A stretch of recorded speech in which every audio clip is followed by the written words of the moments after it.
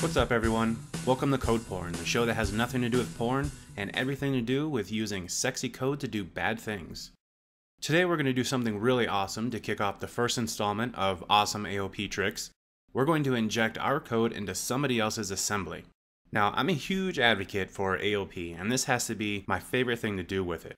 To accomplish this, we're going to use the PostSharp AOP framework, which you can find at postsharp.net. If you're not familiar with AOP or PostSharp, that's okay because I've written plenty of articles that'll get you started and show you the awesome power of aspects. I provided links to these resources in the video description, so be sure to visit those after the show. Just a quick rundown of PostSharp. It's basically the only compile time AOP framework option available for .NET.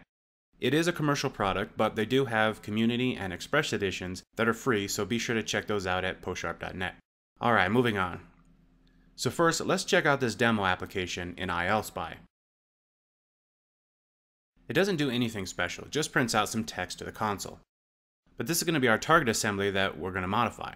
For this particular application, we just want to apply tracing to all of the methods that are in the assembly. I've gone ahead and set up a folder that contains the demo executable, a batch file, as well as a DLL for PostSharp and our provider. The PostSharp assembly is needed because it'll be referenced by the target executable once we apply aspects to it. We'll get back to the provider in a minute. In the batch file, we're making a call to PostSharp directly, giving it the target assembly, our aspect provider, and where we want to output the results. Then we copy the PostSharp and provider assemblies to the output folder, but this is just for our convenience only. So what is an aspect provider? That's a good question. An aspect provider is a type of aspect that provides PostSharp with one or more aspects that should be applied to a given target. It's easier to think about it as being a way to dynamically apply aspects based on conditional logic. Let's switch over to Visual Studio and have a look at what I'm talking about. First, let's look at our tracing aspect. This is what we'll apply to each method inside of the target assembly.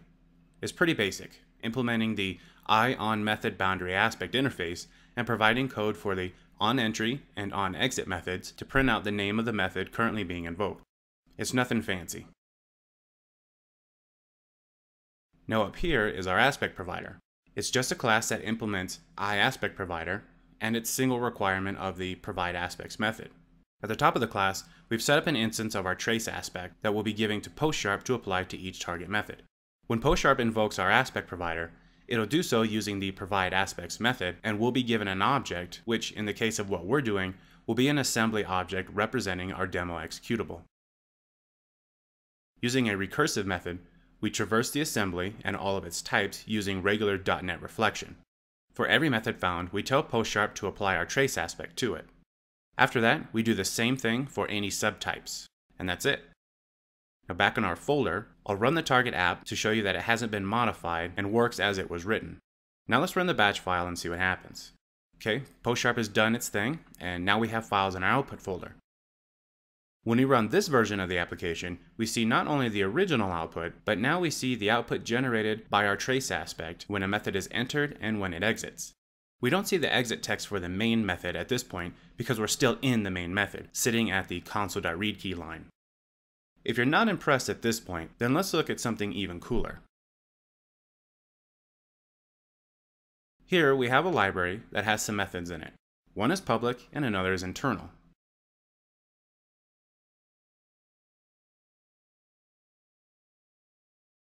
From our demo project, we can reference the library assembly and make use of its public interface, so we can pass in some values and get the computed value back.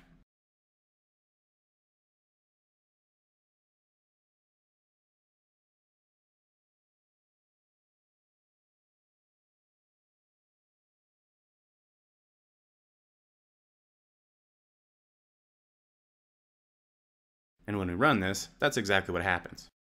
But we need to compute negative numbers. And if we tried that now, we'd get an exception because the compute method has a set of guard clauses preventing any numbers that are less than 1. However, the compute method that we're using now is simply calling down to the internal method which does not have guard clauses. But we can't access that method because it's internal. Or can we? Of course we can. Let's create a wrapper method and inject it into the library so that we can access the internal method as if it were public. All we need is another aspect and an aspect provider. This aspect provider finds a desired class in the given target assembly, which in this case is API. Then we tell PostSharp to apply our aspect. Now our aspect defines a generic func with the specific signature of the target internal method. This would be our delegate to the internal method. Using the import attribute, we tell PostSharp to populate our generic func with a reference to the internal method that we're looking for. Then down here, we have the actual method we want to inject. Inside, we invoke the internal method via our delegate, and this is essentially our wrapper method. Now to tell PostSharp that we want to inject this method, we apply the introduce member attribute to it. And we're not limited to just methods. We can also introduce properties, fields, and events as well. I've set up another folder similar to the demo application folder we used earlier. We have the target DLL, PostSharp assembly, and our aspect provider. With the exception of file names, the batch file is no different than it was before. Let's go ahead and run the process. Once it's done, we can go back into our demo project and reference the newly modified assembly.